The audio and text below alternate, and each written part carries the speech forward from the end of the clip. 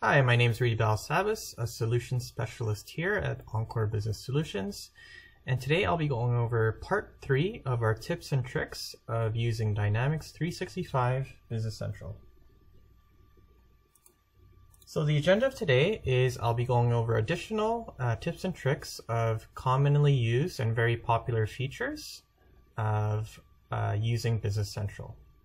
So that'll be the ease of searching and entering data, changing descriptions on posted entries, and scheduling of reports. So I'll just open my demo environment here. So the first one I wanted to show is uh, basically the search functionality in Business Central and, and entering of data. What does that look like? And um, I just wanted to show the user-friendly uh, nature of it and, and some features there.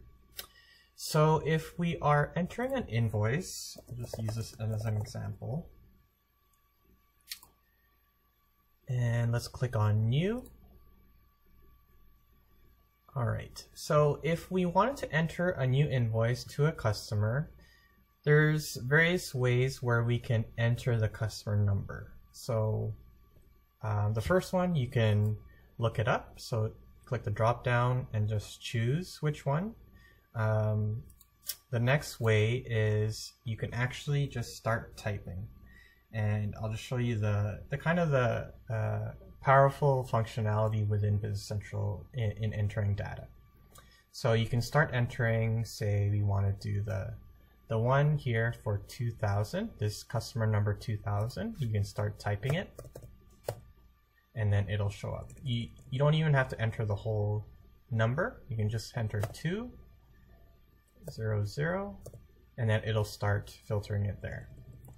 Also, you can also just, if you don't know the number, you can start entering the name of uh, the company. So say we just know um, Trey Research. So it'll start filtering it there, or we just know the second word it'll also pick that up. So research, it'll pick that one up as well. And to take it further, you can actually, so there's other columns here, other fields. So if we knew the zip code, this is very unlikely, but I'll just show you an example here. So if we know the zip code of 37125, if we enter that, it'll pick it up as well. Or we just know the contact. So let's say we know Ian this this one here. Uh, so Ian, start typing eating Ian De Deberry, um, and then it'll filter it there.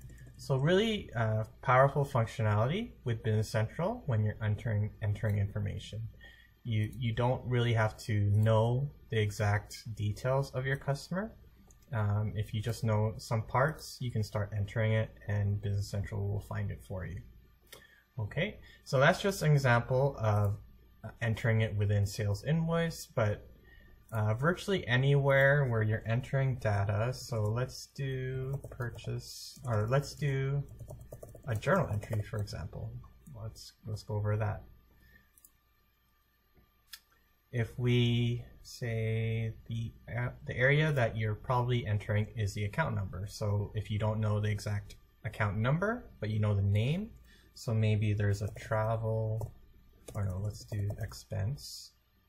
So let's do an example of we want to charge interest expense. So we just know we want to charge it to that GL, start searching it, and it'll populate with the GL accounts that have interest in their in their name, right?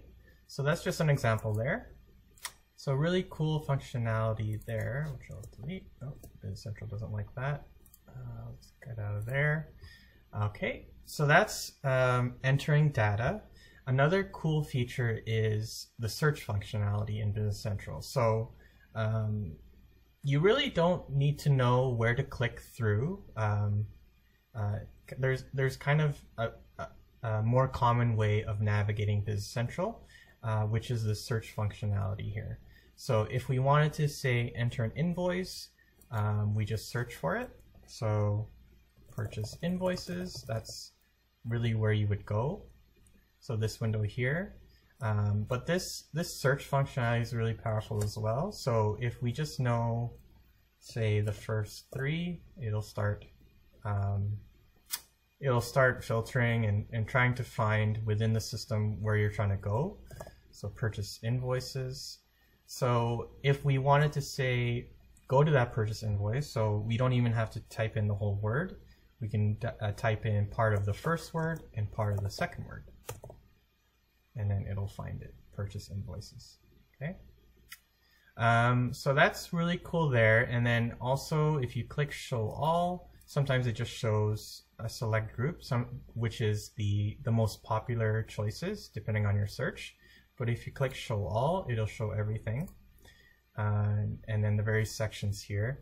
But the really cool feature is general. So let's search for general journals. It'll even show documentation. So if you're ever um, lost and don't know how to do a certain functionality in Business Central, there's this documentation section on whatever you're searching. So if you click show all, it'll show you all these um, resources to go to uh, on how to do certain functionality. Okay. So that's really cool there in the search functionality there. All right, so that's um, a feature I wanted to show. The next tip I wanted to show is changing descriptions on posted entries. So let's go into general ledger entries, for example. Okay, so if you ever post an entry and you you realize that you um, didn't put in the right description. So you can always, even when it's posted, you can change this description. You can edit it. So if you say, let's go into this one here, and you click edit list, and then it'll put it in edit mode, and you'll be able to change this description. So maybe let's put a test one there, and then click enter.